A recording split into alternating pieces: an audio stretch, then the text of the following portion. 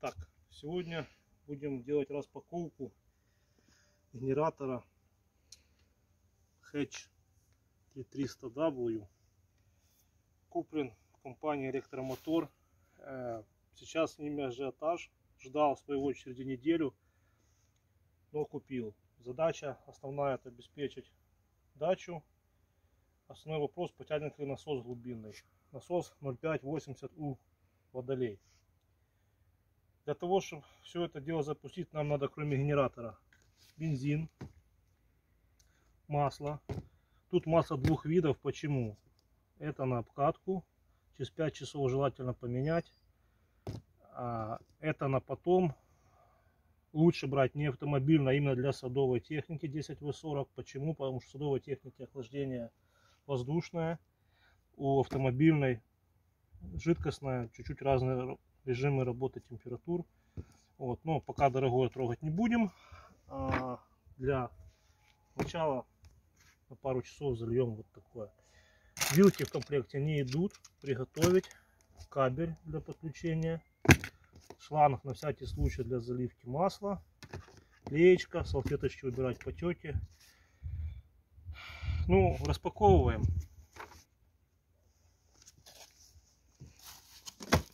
Так, в комплекте инструкции, гарантии, книжечки. На одной из них написано United Power. Ну, мы понимаем, что это Китай. Основная модель это не Hedge, а G3300. А слово может быть впереди любое, в принципе. Так, вес довольно-таки интересный, но постараемся в одно лицо вытянуть. Так, достали. В комплекте у нас немножечко инструмента. Такого-то крепежа, колеса, ручка. В общем, э, сейчас будем это все дело ставить на ход, чтобы его не тягать руками.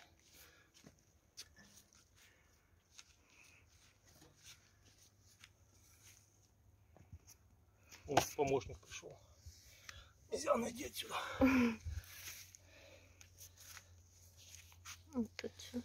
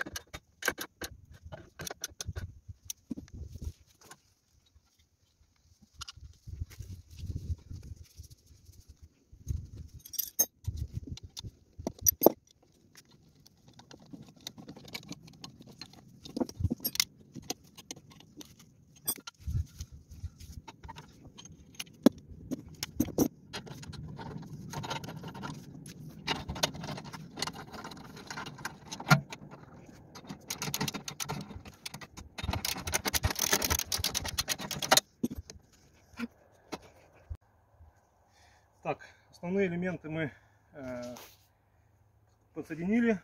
Уже конструкция катается, уже тягать ее легче. Ручка огонь.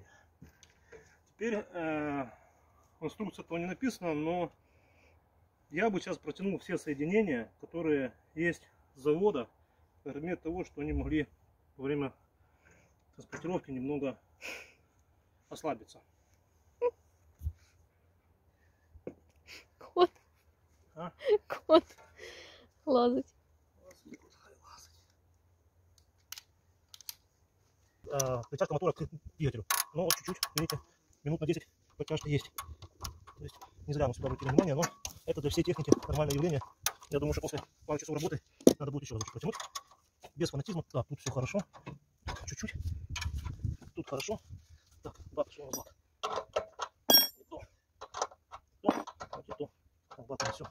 хорошо собрано. Чуть-чуть. Чуть-чуть. Стартер. Что у нас тут? Буквально чуть-чуть.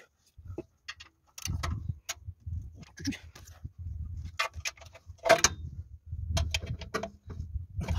Наверное, не попало на пол, судя по всему. Вот тут вообще слабенько. Так, хорошо, основные моменты протянули. Еще бывает у них карбюратор, отходит, ну, это после пару часов работы. Ну, в целом, так вот, подобслужили. Заливаем масло. Пробуем. Давай. Так, ну, вроде бы без шланга леечкой можно подлезть. Пробуем. То есть ориентир у нас пол-литра.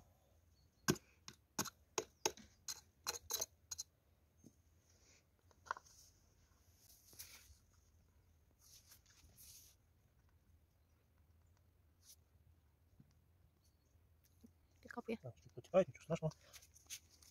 Подложим за салфеточку. Так, сколько мы туда? Грамм 200 уже. Верх.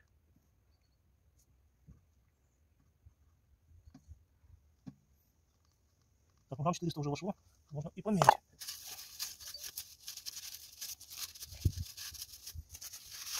Так, на щупе какое-то масло было. Видно, еще завода. Вытираем это все дело. И замеряем. Инструкцию закручивать не надо. Ну, на самом кончике. То есть грамм 50 точно возьмем.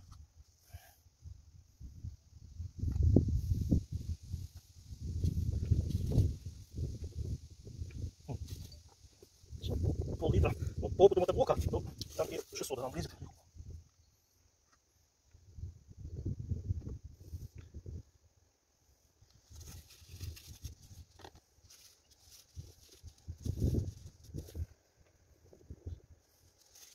Говорит, что мало. Что мало, будем заливать.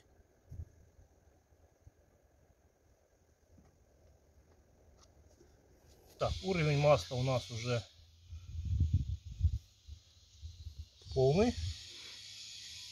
Все вытерли тут, протерли. Э, Масло ушло.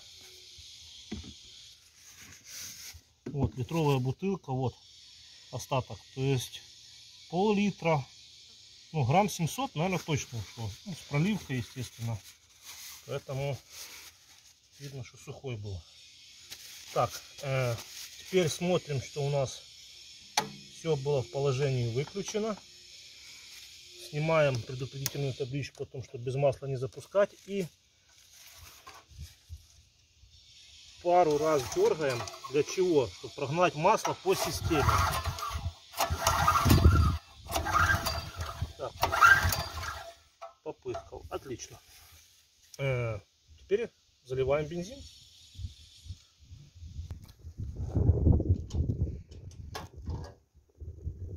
Ну, литр будет вполне достаточно для обкатки.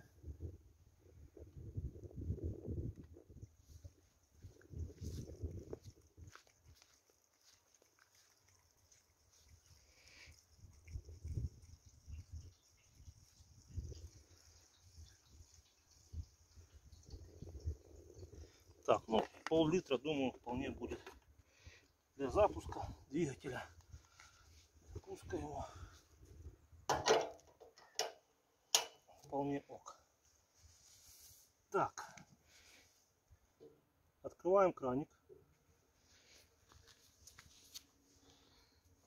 И надеемся, бенз пошел в карбюратор. Подсосик. Заслонку закрываем. Включаем кнопочку старт. Проверяем, что у нас нагрузка выключена. Ну и реально первый запуск без постановки. Вау.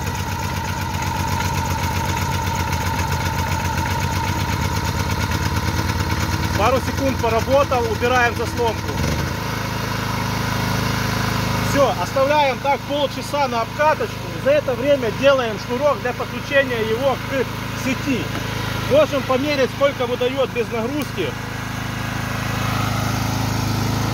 По вольтметру четенько 230. Смотрим, сколько в розетке.